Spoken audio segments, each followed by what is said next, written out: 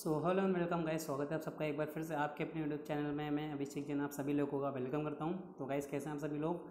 आज आप लोगों का electrical 303 estimating costing and design of electrical installation का एग्ज़ाम था। आई होप आप सभी लोगों का एग्ज़ाम अच्छा गया होगा। तो अब वक्त है आपने जो आंसर टिक किए हैं उनको चेक करने का कि कितने क्वेश्चन आपके सही हैं और कितने क्वेश्चन गलत हैं। तो चलिए दोस्तों, आज की वीडियो स्टार्ट करते हैं। इससे पहले चाहूँगा, जितने भी दोस्त चैनल पर नए हैं या फिर पहली बार विज़िट कर रहे हैं तो जल्दी से चैनल को सब्सक्राइब करके बेल आइकन पर क्लिक कर दें। ताकि जितने भी लेटेस्ट नोटिफिकेशन के अपडेट हो, आप लोगों को मिलते रहे। चलिए तो सब अपना पेपर देखते हैं और आज कौन कौन से क्वेश्चन आए थे और उनका क्या क्या आंसर होगा, करते हैं। इससे पहले देखिए दोस्तों, पिछली वाली वीडियो में गाइस मेरा काम इतना है कि आप लोगों ने, इनके करेक्ट आंसर क्या हो सकते हैं? पॉसिबिलिटीज़ ठीक है? और आप मान के चलिए, जो भी मैं बताता हूँ, उसमें से सत्ताईस से अट्ठाईस क्वेश्चन डेफिनेटली ठीक है? एकदम श्योरिटी के साथ सही होंगे। फिर भी कुछ क्वेश्चन के आंसर देखिए, किसी बुक में कुछ होता है, किसी बुक में कुछ होता है, आपको अलग अलग इंटरनेट में भी आप देखोगे, कई बार एक क्वेश्चन के दो दो आंसर मिलेंगे। तो अब उन लोगों ने जो एग्जामिनर उसने क्या सेट किया, उसको कुछ कह नहीं सकते। तो गाइस अगर आपको किसी भी क्वेश्चन का आंसर लगता है कि मैंने गलत बताया तो आप मुझे कमेंट करके ज़रूर सूचित करें प्लीज़ और एकदम अच्छे तरीके से कोई भी अभद्र भाषा का प्रयोग ना करें, उल्टी सीधी लैंग्वेज का यूज़ ना करें। अच्छे से आपको लगता है कि हाँ सर ये क्वेश्चन गलत है तो आप मुझे लिख दें सर इस क्वेश्चन का आंसर ये हो सकता है, यहाँ पर ये लिखा हुआ है। और मैं उसको चेक करके आपको कन्फर्म कर दूँगा। क्योंकि हमें ये देखने की यार, हम ऑब्जेक्टिव करके कम से कम पास तो हो सकें ओके चलिए वीडियो स्टार्ट करते हैं। सो चलिए गाइस देखिए, सबसे पहला आज का जो क्वेश्चन था यदि किसी व्याख्यान, कक्ष या यूजित का विद्युत भार कोई भी मान लीजिए लेक्चर हॉल है, उसमें आपका 1140 वाट का लोड कनेक्टेड है। अब इंडियन इलेक्ट्रिसिटी रूल के अकॉर्डिंग उसमें कितने सब सर्किट अब देखिए, एक सब सर्किट का आपको लोड देना है भाई 800 लोड। 800 किलोवाट एक सब सर्किट में दे सकते हैं। यानी कि अब ये 1140 हो गया, यानी कि एक तो 800 का हो गया और दूसरा आपको या फिर हम क्या कर सकते हैं भाई? ग्यारह का आधा आधा कर लीजिए। साढ़े पाँच सौ, यानी कि पाँच सौ सत्तर, पाँच सौ सत्तर का आधा हो जाएगा, यानी कि दो सब सर्किट आपके लगेंगे। फ़र्स्ट का आंसर हो गया दो। अब ये बोलता है मूविंग आयरन टाइप इंस्ट्रूमेंट का सिंबल तो देखिए मूविंग आयरन टाइप का सिंबल ही होता है। क्वेश्चन नंबर फ़र्स्ट करेक्ट हो गया। ये मूविंग कॉयल है। मूविंग आयरन का question number B correct answer होगा। सो चलिएगा सब अगला क्वेश्चन है। Question number third most widely use insulation यानी कि घरों में जब हम लोग केबल करते हैं, उसमें सबसे ज़्यादा कौन सा इंसुलेशन तो आप सबको पता है गाइस पीवीसी की केबल होती है आपकी।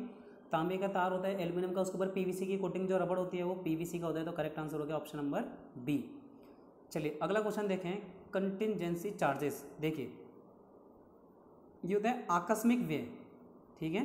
कंटिजेंसी चार्जेस को हम लोग हिंदी में क्या कहते हैं? आकस्मिक व्यय। तो यानी कि option number A correct answer होगा। क्वेश्चन नंबर फोर्थ का करेक्ट आंसर हो गया ए क्लियर है? चलिए, अगला क्वेश्चन देखिए, ये कह रहा है अर्थिंग प्लेट के लिए सबसे सही आकार। देखिए, जो तीसरा साइज़ होता है ना, वो उसकी चौड़ाई होती है, वो विर्थ होती है, ठीक है? मोटा कितना है? तो कभी भी सेंटीमीटर में मोटा नहीं होगा, तीस सेंटीमीटर बहुत ज़्यादा हो गया। एम mm, सबसे लास्ट वाली एम mm, तो देखिए ये सिर्फ़ दो ऑप्शन में से देखें। अब 300 सौ mm कितना हो गया गाइस लगभग 30 सेंटीमीटर तो यही बात पड़ गई। राइट आंसर होगा आपका 60 बाई 60 बाई तीन एम की। ज़्यादातर हम तीन पॉइंट पंद्रह लेते हैं बट यहाँ पे तीन पॉइंट पंद्रह ना होकर तीन भी है तो ऑप्शन करेक्ट होगा। इसलिए फिफ्थ का आंसर हो गया guys B question number six देखिए। एक दस एच पी पंद्रह चार सौ पंद्रह volt three phase fifty hertz induction motor को एक कार्यशाला में स्थापित किया जाना है। मोटर की दक्षता 85 परसेंट तथा पावर फैक्टर पॉइंट एट है तो मोटर की फुल लोड करंट। यानी कि I L full load current का मान कितना हो जाएगा गाइस जो आपका 10 एचपी है तो 10 एचपी को सात सौ मल्टीप्लाई सात सौ छियालीस से करना है। यहाँ पे देखिए इसने ब्रिटिश थर्मल से कर गए तो सात सौ छियालीस से मल्टीप्लाई करोगे आप लोग, ठीक है? इसके बाद क्या आएगा? नीचे अंडर रूट थ्री इंटू चार सौ पंद्रह। चार सौ पंद्रह के बाद आएगा आपका एफिशिएंसी पॉइंट एट फाइव है और पावर फैक्टर पॉइंट एट है। आप ये सॉल्व करेंगे तो आपका करेक्ट आंसर आ जाएगा पंद्रह पॉइंट छब्बीस। तो क्वेश्चन नंबर सिक्स का राइट आंसर हो जाएगा guys C question number six का जो है आपका राइट आंसर है ऑप्शन नंबर सी क्लियर है? चलिए, अगला ऑप्शन देखते हैं.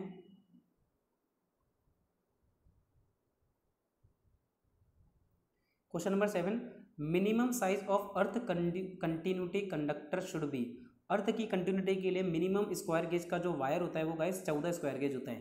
ध्यान रखेंगे फोर्टीन स्क्वायर गेज बुक में से आपका आंसर और इंटरनेट दोनों पे से कंफर्म करा हुआ है तो इसके बारे में आपको कई लोग गलत बताएँगे बट ध्यान रखना चौदह स्क्वायर गेज एकदम करेक्ट आंसर है इसका। अगला क्वेश्चन है क्वेश्चन नंबर आठ अर्थ रजिस्टेंस किस पर निर्भर करता है? देखिए अर्थ रजिस्टेंस मृदा की दशा पर, यानी कि मिट्टी कैसी है? मिट्टी के अंदर मॉइस्चर कितना है और मिट्टी का टेम्परेचर कितना है? तीनों ही बातों पर निर्भर करता है, इसीलिए क्वेश्चन नंबर एट का राइट आंसर हो जाएगा ऑप्शन नंबर डी अगला है क्वेश्चन नंबर नाइन मानव शरीर के लिए सुरक्षित इलेक्ट्रिकल करंट देखिए मिनिमम आप मिली एम्पियर है ना गाइस चार से पाँच मिली एम्पियर या ट्वेंटी मिली एम्पियर तक मैक्सिमम हम लोग मान सकते हैं। बहुत वो भी हद मार के। अब यहाँ पे देखिए सारा नौ एम्पियर और नब्बे एम्पियर, ये तो दोनों ही गलत हो गए। नौ और नब्बे तो इसमें तो आदमी मर ही जाएगा। नब्बे मिली एम्पियर नौ मिली एम्पियर सबसे कम क्या है? नौ, इसलिए राइट आंसर हो जाएगा आपका क्वेश्चन नंबर नाइन का ए क्वेश्चन नंबर टेन देखिए ये कह रहा है सर्विस लाइन जो आपकी सर्विस लाइन होती है वो किन दो के बीच संबंध है? तो गाइस सर्विस लाइन देखिए, जो आपका डिस्ट्रीब्यूशन पोल है और उससे सीधे आपके एनर्जी मीटर पे आती है। उसे हम लोग कहेंगे सर्विस मेन तो डिस्ट्रीब्यूशन पोल से जो एनर्जी मीटर तक आती है, यहाँ देखिए, ये डिस्ट्रीब्यूशन पोल से कहाँ आ रही है? कंज्यूमर के मेन डिस्ट्रीब्यूशन बोर्ड तो सीधे बोर्ड तक नहीं जाती सर्विस मेन कभी भी, ध्यान रखेंगे। डिस्ट्रीब्यूशन बोर्ड के पास सब सर्किट आता है तो वो घर की वायरिंग कहलाती है। यहाँ ट्रांसफार्मर ये भी गलत तो आपका करेक्ट आंसर हो गया option number A question number दस का। चलिए क्वेश्चन नंबर ग्यारह देखते हैं। एमसीबी का पूरा नाम, जो कि गाइस बहुत ईजी है मिनिएचर सर्किट ब्रेकर ग्यारह का हो गया बी क्वेश्चन नंबर तेरह, यदि क्वेश्चन नंबर तेरह क्या कहता है? बारह सॉरी यदि एक छोटी कॉलोनी का एवरेज लोड मान लीजिए बीस किलो वाट है, अधिकतम मांग चालीस किलो वाट है तो इसका लोड फैक्टर कितना होगा? अब देखिए, इसने क्या बोला लोड फैक्टर तो गैस लोड फैक्टर का फॉर्मूला क्या होता है?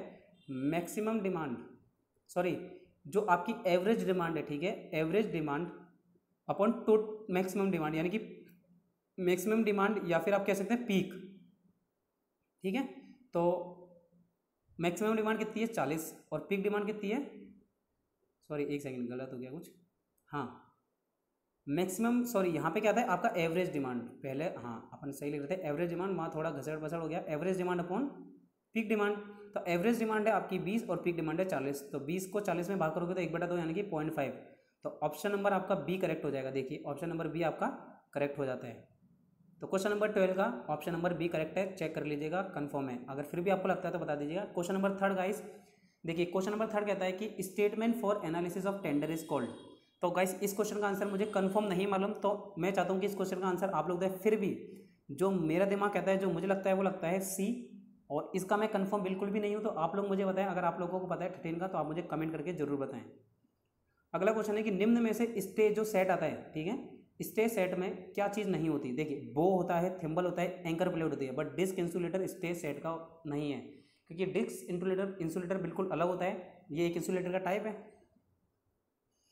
अगला क्वेश्चन है most popular type of electrical service line nowadays अब ये कह रहा है कि नाउ अ डेस सबसे पॉपुलर सर्विस लाइन कौन सी है? देखिए, अभी तक गाइस हमारे घरों के बाहर तो भैया ओवर है। बट अब अंडरग्राउंड चल रही है, ठीक है? पूरी जगह पे काफ़ी, अभी तो मैं कहूँ दस परसेंट एरिया भी ऐसा नहीं है पूरे इंडिया का जहाँ पे हो गई है। और इसीलिए देखिए इसमें कन्फ्यूज़न रहता है कई बच्चों को, इसलिए बेस्ट आप क्या कहेंगे?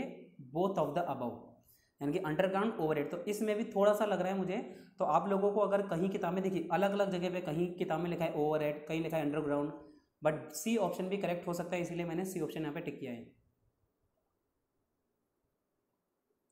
अगला क्वेश्चन है निम्न में से कौन सी सुरक्षा युक्ति को तड़ित आवेश से, यानी कि लाइटनिंग से सुरक्षा के लिए कौन सा? तो देखिए पीएलसीसी तो रूम होता है पोटेंशियल ट्रांसफार्मर वोल्टेज को मेजर करता है बुकल से ट्रांसफार्मर लगाई जाती है, और हॉर्न गैप गाइस ट्रांसफार्मर के ऊपर लगाया जाता है हॉर्न गैप ताकि लाइटनिंग अरेस्टर से बचा जा सके। तो राइट आंसर हो जाएगा हॉर्न गैप अगला प्रश्न देखिए कि किसी स्टोर के नियंत्रण अधिकारी से सामान निर्गमन करने के प्रपत्र की डायरी को मांग पत्र कहा जाता है। क्या कहा जाता है?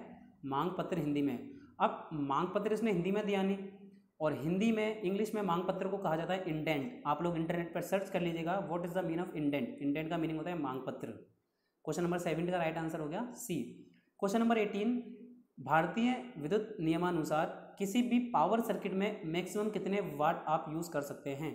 तो पावर सर्किट में मैंने आपको बताया था, तीन हज़ार वाट तक आप एक पावर सर्किट की कैपेसिटी बना सकते हैं। चलिए, अगला क्वेश्चन देखिए। थोड़ा इसमें उंगली आ गई है हमारी। अगला क्वेश्चन कहता है कि स्क्वेरल फेरेट विसेल तथा रेबिट ये सब जानवर के नाम हैं। तो ये किसके कोड नेम्स हैं? A C S R conductor के ए ए सी कंडक्टर के पी वी सी कंडक्टर के या सुपर एनिमल कॉपर वायर के? तो जिस बच्चे ने जी एस एस से ट्रेनिंग करी है, वो ज़रूर इसका सही करके आया होगा। A C R A C S R aluminium conductor steel अभी तो इसमें देखिए कई नाम आए नहीं। जेबरा पेंथर टेरेंटुला ये सारे नाम हैं जो कि कंडक्टर के नाम रखे गए हैं, जानवरों के नाम पर। तो ये इसका राइट आंसर होगा ए कंफर्म क्वेश्चन नंबर उन्नीस में कोई भी संशय नहीं है। विदाउट डाउट क्वेश्चन नंबर उन्नीस का ऑप्शन ए करेक्ट है।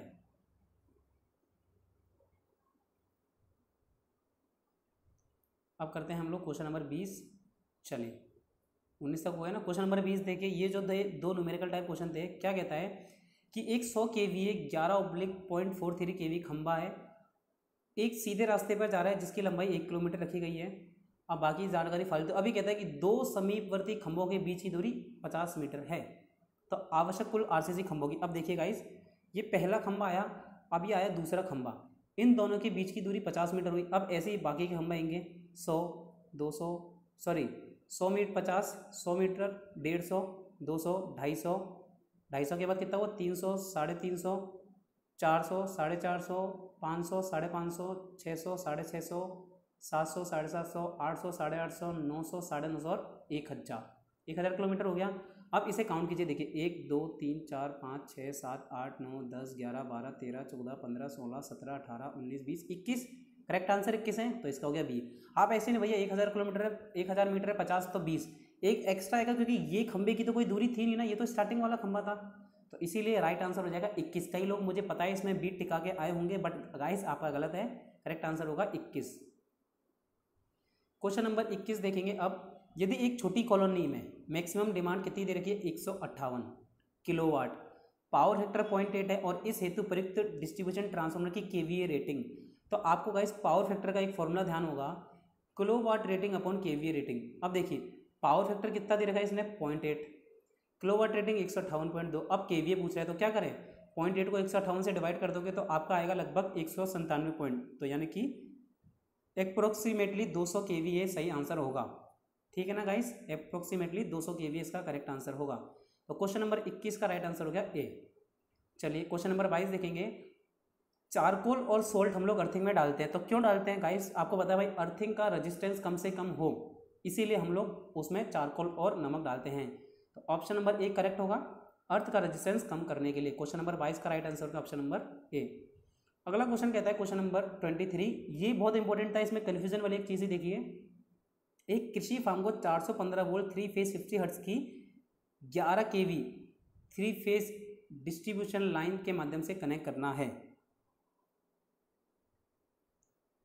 ठीक है, इसको 415 वोल्ट थ्री फ़ेज़ की 11 केवी लाइन से कनेक्ट करना है। कितनी? 11 केवी। डिस्ट्रीब्यूशन लाइन से कनेक्ट करना है तो जिसका विद्युत भार सैंतीस के वी अब यानी कि ये सेकेंडरी हो गई, ये प्राइमरी हो गई आपकी। यदि मोटर को फुल लोड दक्षता 85 percent power factor point eight तो प्राइमरी करंट ज्ञात कीजिए। अब देखिए 415 वोल्ट से थ्री फ़ेज़ की 11 के वी पे कनेक्ट करने के लिए कह रही है तो प्राइमरी करंट कितनी हो गई? प्राइमरी होगी 415 वोल्ट अब आप अगर सारी कैलकुलेशन करेंगे तो आपका राइट आंसर आएगा 75.7 75.7 क्वेश्चन नंबर 23 का राइट आंसर 75.7 अब आपका ये भी आंसर होगा शायद। तो आप लोग देख लीजिए और मुझे ज़रूर बताइए कि ट्वेंटी थ्री का आप लोग क्या टेक करके आए हैं, कमेंट करके ज़रूर बताएँ। क्वेश्चन नंबर चौबीस देखेंगे अब दो, यदि युजित भार किलोवाट में पाँच किलोवाट है और डाइवर्सिटी फैक्टर 1.6 है तो भविष्य हेतु सौ प्रतिशत अतिरिक्त मांग को ध्यान में रखते हुए लिए जाने वाले विद्युत भार। अब देखिए, चाहे डाइवर्सिटी फैक्टर कुछ भी हो, पाँच किलोवाट है। अब ये क्या कहता है गाइस कि सौ परसेंट अधिकतम मांग पाँच किलो वाट पे आपका, अगर आप इसे पाँच किलो वाट को इसे वन पॉइंट फाइव से गुणा डिवाइड करोगे तो आपको कुछ भी आएगा लगभग तीन हज़ार समथिंग कुछ आएगा, ठीक है? बट ये कह रहे हैं कि अगर हंड्रेड परसेंट अतिरिक्त मांग को ध्यान में रखें तो लिए जाने वाला विद्युत भार तो हंड्रेड परसेंट यानी कि पाँच किलो वाट पाँच किलो वाट यानी कि पाँच हज़ार वाट तो करेक्ट आंसर हो गया चौबीस का ए। क्वेश्चन नंबर चौबीस का राइट आंसर हो गया ए। अगला देखिए, क्वेश्चन नंबर पच्चीस, निम्न में से कौन सा एक ओवर विद्युत लाइन का अवयव नहीं है? देखिए, आपके पास अब किसी, जिस बच्चे ने इंग्लिश में पढ़े, वो कन्फ्यूज़ था पोल्स और ज़ीरो ये तो क्वेश्चन तीन सौ पाँच में भी थे कंट्रोल सर्किट में पोल्स और ज़ीरो होते हैं बट ये पोल्स है खंबे वाला, और ये ज़ीरो है ज़ीरो ही. ठीक है तो पोल्स और ज़ीरो तो कुछ होता नहीं भाई इंसुलेटर होता है, चालक होता है, खंबे होते हैं बट ज़ीरो नहीं होता तो राइट आंसर हो गया आपका ऑप्शन नंबर बी तो करेक्ट आंसर क्या हो जाएगा इसका? ऑप्शन नंबर बी पच्चीस का बी हो गया. अगला क्वेश्चन देखिए, कि सी टी पी टी को सब स्टेशन में एक नाम से जाना जाता है. गाइस देखिए C T P T high voltage, high current को कम वोल्टेज करंट में कन्वर्ट करके मेजर करते हैं। इसीलिए इन्हें इंस्ट्रूमेंट ट्रांसफार्मर कहते हैं। तो क्वेश्चन नंबर छब्बीस का राइट आंसर हो गया ऑप्शन नंबर बी अगला देखिए क्वेश्चन नंबर ट्वेंटी सेवन किसी ग्राहक के विद्युत भार, मांग तथा समय के मध्य संबंध को प्रदर्शित करने वाले कर्व को लोड कर्व कहते हैं, मान लिया। मगर यदि ये लोड कर्व घंटों में लिया जाए, ठीक है, यानी कि 24 घंटे, भाई 24 घंटे में लिया जाएगा, यानी कि ये दैनिक भार कर्व कहलाएगा डेली लोड कर्व अगर मंथली बेस पर लिया जाता तो मंथली साल के लिए जाएगा जाएगा तो ईयरली लोड कर्व चलिए, अब देखते हैं क्वेश्चन नंबर अट्ठाईस। क्वेश्चन नंबर अट्ठाईस कहता है गाइस फ्यूज के प्रचालन का, जो फ्यूज है, वो किस सिद्धांत पर वर्क करता है? आपको तो भाई फ्यूज पहले गर्म होता है, गर्म कब होता है? जब इलेक्ट्रिकल करंट आती है। तो ये heating effect of electrical current electric current जब ज़्यादा होती है तो वो हीट उत्पन्न करती है, जिसकी वजह से फ्यूज़ पिघल जाता है। सो ट्वेंटी एट का राइट आंसर हो गया ऑप्शन नंबर ए चलिए क्वेश्चन नंबर ट्वेंटी नाइन देखेंगे। Protection use in H T side of a pole mounted substation is क्या कहलाती है? देखिए I C T P switch तो एक स्विच है। केबल बॉक्स केबल बॉक्स है। एच टी बुशिंग लगी हुई है अपनी जगह इंसुलेटर को बांधने के लिए। बट ड्रॉप आउट फ्यूज इसकी एच टी साइड पर प्रोटेक्शन करने के लिए इस्तेमाल किया जाता है जब भी कोई फॉल्ट आए। क्वेश्चन नंबर ट्वेंटी नाइन का करेक्ट आंसर होगा ऑप्शन नंबर बी चलिए, अगला क्वेश्चन देखें। यदि 11 मीटर ऊंचाई के स्टील खंभे का औसत व्यास इतना इतना इतना इतना, ये सब है अभी कहता है कि A C S R conductor जो आपको ज़रूरी है, उसकी टोटल लंबाई कितनी होगी? ठीक है? टोटल लंबाई कितनी मानी जा सकती है? तो गाइस अब देखिए, जब आप टोटल लंबाई को कैलकुलेट करेंगे तो करेक्ट आंसर आएगा आपका तीन हज़ार मीटर। तीन हज़ार मीटर करेक्ट आंसर आना चाहिए। अच्छा sorry sorry sorry sorry steel खंभे के बीच विस्तार है 120 मीटर। ठीक है? वो सब भी मान लिया अपन ने। मगर सिर्फ़ लंबाई कितनी है टोटल एक किलोमीटर दो परसेंट झोल लेना है आपको। अब अगर अप्रोक्सीमेटली अपन देखें तो अब इसके बाद आपका आंसर देखिए। मैं इसमें कंफर्म नहीं हूँ ए या बी दोनों में से कुछ भी हो सकता है। आप लोग बताएँगे कमेंट करके कि क्या होगा करेक्ट आंसर ठीक है? देखिए, कैसे, मैं आपको बताता हूँ गाइस रुकिए। देखिए, इसने बोला तीन हज़ार। मान लीजिए अगर तीन हज़ार आता है, अब तीन हज़ार का दो परसेंट कितना हो गया? साठ हो गया। तो देखिए, यहाँ तीन हज़ार साठ है। तो करेक्ट आंसर होगा। मेरे हिसाब से मुझे लगता है थर्टी क्वेश्चन नंबर थर्टी का राइट आंसर होगा। ऑप्शन नंबर ए तीस साठ। ठीक है? सो गाइस देखिए आपके तीस के तीस क्वेश्चन कंप्लीट हो चुके हैं। सो so, आपको समझ आ गया होगा ठीक है? कोई भी फालतू की बातें नहीं करेगा जिसको जो भी आंसर गलत लगता है कमेंट करके बताएँगे। और अगर वीडियो अच्छी लगी तो वीडियो को लाइक शेयर और चैनल को सब्सक्राइब करना ना भूलें। थैंक यू गाइस मिलते हैं अपनी नेक्स्ट वीडियो में।